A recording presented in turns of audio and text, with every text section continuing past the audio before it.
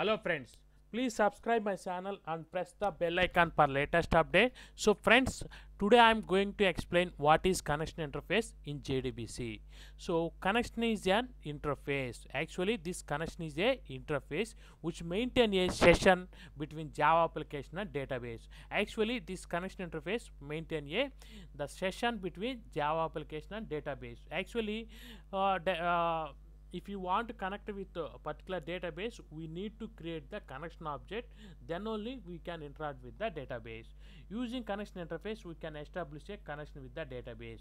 By using this connection interface we can establish a connection with the database. And uh, sql statements are executed and results are returned within the context of connection object. Basically suppose if you want to execute some sql statement in the database we should create the connection object. By using connection object we can create the statement object. Using the statement object we can pass the sql statement and we can execute the uh, sql statement in the database. So connection interface is mainly used to create the statement prepare statement callable statement and database metadata object. By using this connection interface we can create the uh, statement object prepare statement object and callable statement objects. So here like uh, i am showing the one example. How we can create the connection object? Connection con equal to driver manager dot get connection. Using this driver manager we can uh, you uh, uh, like uh, in the driver manager class we have a get connection method is there. So here we have to pass the url of the database username and password. So here now we are creating the connection object. Using the connection object we can create the create statement object i mean uh, statement object we are creating using the create statement object uh, create statement method. So here like uh, statement uh, result set rs equal to statement dot execute query select star from user. So here what we are doing is using the statement object uh, uh, we are calling the execute execute query method. So here we are passing the sql query.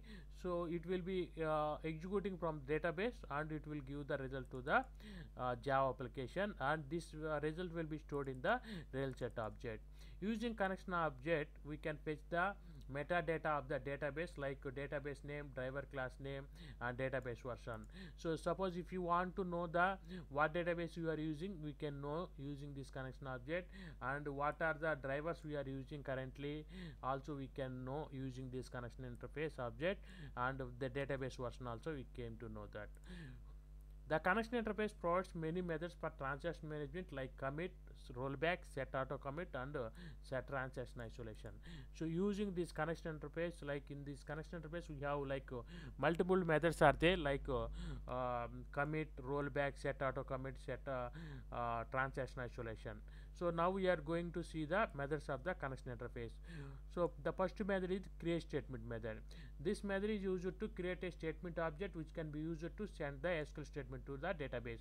Actually, this method is used to here if you see here create statement method so how we can create the state uh, create statement object using the connection object so here we are creating the connection interface object and by using this connection uh, interface object we are creating the statement object.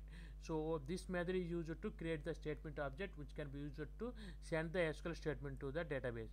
For example if you want to send the sql statement to the database we should create the this uh, using the create statement method we can create the statement object. So next method is the prepare statement this method is used to create the prepare statement object uh, which can be used to send the parameterized SQL statement to the database. For example, select star from user where username equal to question mark. We are, that means that is a parameterized query. If you want to uh, execute those type of uh, SQL statement, we can create the prepare statement object. Next is the callable statement, uh, prepare call method. This method is used to create the callable statement object which can be used to call the stored procedure of the database sometimes in our project we have to call the storage processor. So to call the storage processor we can create the prepare call method so using the callable statement we can create the uh, uh, prepare call method. So by using this prepare call method we can pass the stored position name here like uh, we can call the stored position using the callable statement. So next method is the set auto commit uh, here is the boolean status. It is used to set the commit status. By default it is true. If you want like uh, in in our uh, project sometimes we have to set the set auto commit equal to true or false like if you want to commit the data we can commit using the true uh, we can pass here like we can commit the auto commit. Suppose if you don't want to commit by default we can pass the false as the argument next method is the commit method. It saves the changes which are committed permanently. Suppose if you are uh, like we are writing the one uh, sql statement like this only and whatever data like uh, suppose if you want to insert some data into the database so, so we can write the insert into something da database table name and we can pass the variables so if you don't want to uh, if you call the commit method so those statement will be permanently committed into the database. That means whatever data we are inserting into database using this commit method we can commit the data. Otherwise sometimes if you don't want to commit the previous change we can call the rollback method. It roll back the changes made since previously committed. Pre so uh, like uh, sometimes transaction getting failed so that time we can call the rollback method to roll back the previously um, committed changes.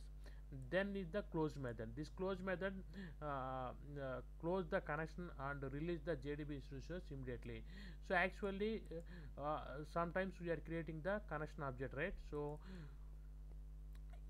actually this connection object we have to close uh, whenever we uh, completed all the transactions or like all the our required uh, statement so using this close method we can close that uh, uh, statement uh, connection object. Otherwise it will create the unnecessary memory in the jdbc sorry in the jvm so that's what we can call the close method whenever the connection object is not required in our program. So we can uh, connection dot close method we can close the connection. So friends don't forget to subscribe my channel. Thanks for watching